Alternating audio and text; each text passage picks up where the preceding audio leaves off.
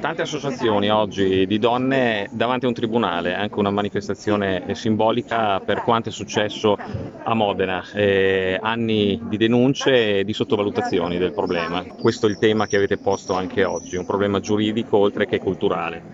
Sì, abbiamo deciso di manifestare davanti al Tribunale di Modena non perché sia un problema solo del Tribunale di Modena, è un problema che è di tutti i tribunali italiani. Il non riconoscimento della violenza contro le donne non è emerso solamente nella Commissione Femminicidio, ma è arrivata in questi giorni la quinta condanna della Corte di Strasburgo allo Stato italiano per non aver tutelato una donna che aveva fatto ben sette denunce che eh, non, avevano dato, non avevano portato nessuna misura cautelare nei confronti di quest'uomo. C'è un problema perché si spingono le donne a denunciare per poi archiviare, si accusano le donne di mentire perché si dice che le archiviazioni che dipendono dal non riconoscimento della violenza siano calunnie, le donne restano quindi non protette e la cosa peggiore è ciò che avviene nei tribunali civili dove si impone alle donne l'affido condiviso anche con uomini violenti perché anche lì i giudici civili pensano che le denunce delle donne siano strumentali.